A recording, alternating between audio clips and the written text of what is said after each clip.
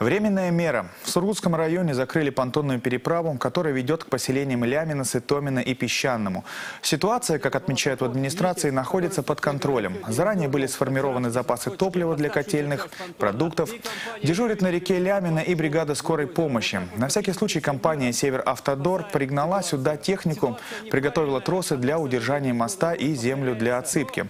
Сейчас с одного берега на другой людей доставляет катер. Решение приостановить работу переправы приняли после начала корчехода. Весной этого года автомобильный мост уже разводили. Сделали это ради профилактики из-за коряк и ледохода. Осенью 2019-го переправу на Лямина, Сытомина и Песчаный сорвало ледяными глыбами.